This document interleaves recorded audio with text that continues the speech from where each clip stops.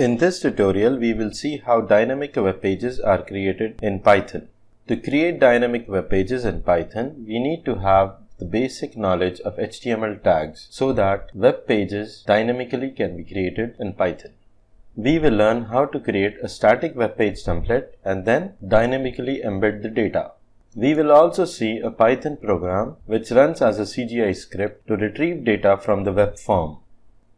To embed dynamic data into web page templates, we will use triple quoted string to create the template and then use the input function to dynamically read data from the user and have the open function to create a file which is generated dynamically based on the data input from the user.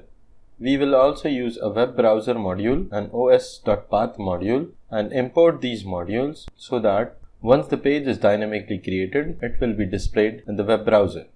We will also see practically how web forms are created and then the Python program which runs as a CGI is written.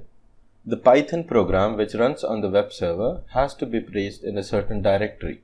We will create a web form and then write a Python CGI program to retrieve data from the user through the web form. And finally, the Python program will send the output to the user. Let us practically see how to create a web page template and then dynamically embed the data we will create a variable content and this variable content will use a triple quoted string to create an HTML template. If you look, we have the HTML tag followed by the head tag and the title tag and then the body tag. In the body tag, we have a text as hello and then we are using a placeholder that is within the curly brackets we are having str name as the string and finally closing the body and the HTML tag as well as closing the triple quoted string. Since we have created a placeholder with the name as strname, we will use strname with the input function. The input function has a parameter enter name through which user will enter the text which will be stored in strname. We will create an HTML content variable which will be assigned the content.format and format takes in locals function which returns the dictionary of the local symbol table. In this case, it will return the value of strname variable. We will then create an out file variable which is used with the open function. This open function will create an HTML page with the name template.html and the second parameter is the write mode.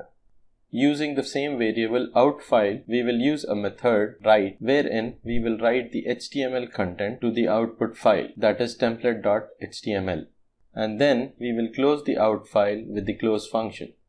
At this instance, the Python program has created a template file with the input from the user.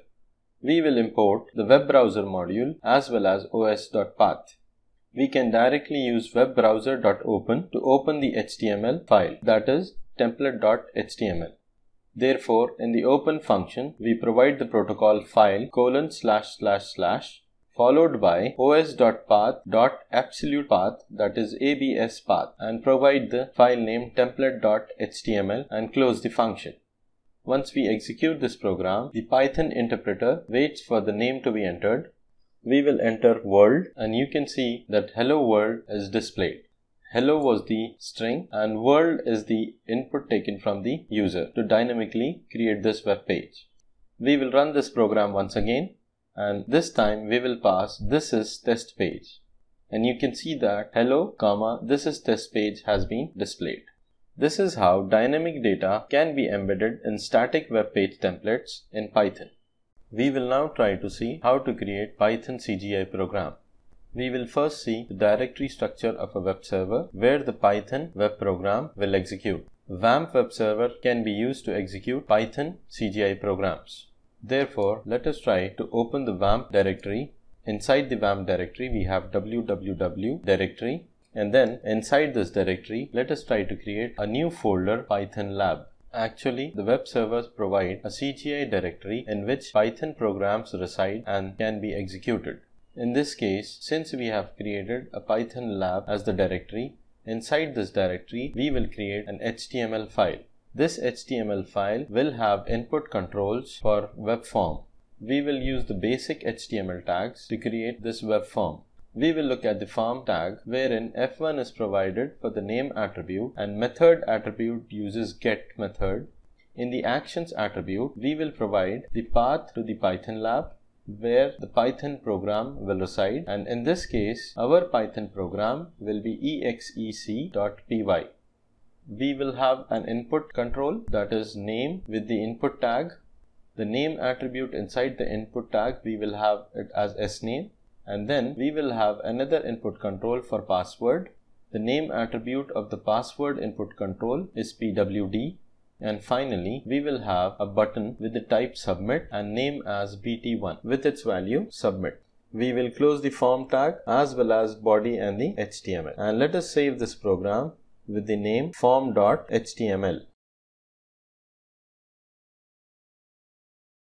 Now we will create a Python program and let us try to name this Python program as exec.py. The first statement in the Python program is we will import CGI module. We will use a triple quoted string create the content which we will store it in content variable. The triple quoted string will contain two placeholders. One is the str name and the other one is strpwd. We will define a function with the name as main.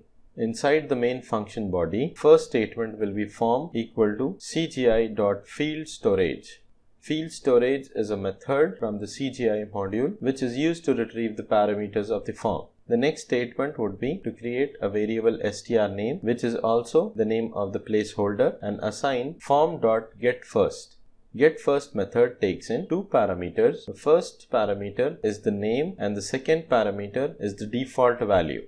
In this case, we are using sname as the parameter and the next statement would be strpwd equal to form dot get first and in this case we are providing the name as pwd and the last statement of the main function is the print content dot format with locals function this locals function stores the dictionary of the local symbol table the last part would be to handle exception using the try and except block where inside the try block we will call the main function and handle the exception through cgi.print underscore exception function.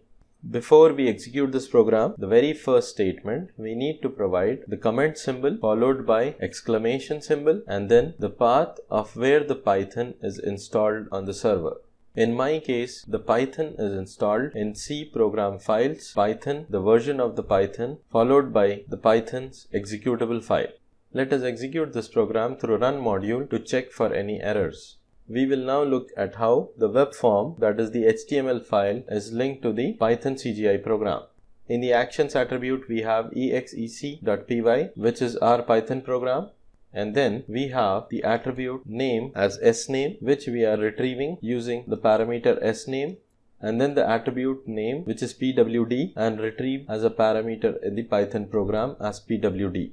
We'll now open a web browser and type the path of the web server as well as the directory. In this case, it's Python lab and the file name is form.html.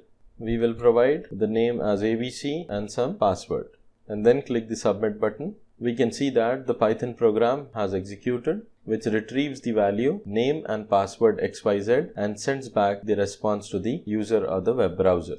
Let us execute this program once more giving the name and the password and we get the values. Now suppose if you do not provide the path of the Python in the command as the first line and execute the program, you can observe that we get an internal server error. If this error occurs, that means the Python path not properly provided in the Python CGI program. So make sure that the Python path is correct in your CGI program.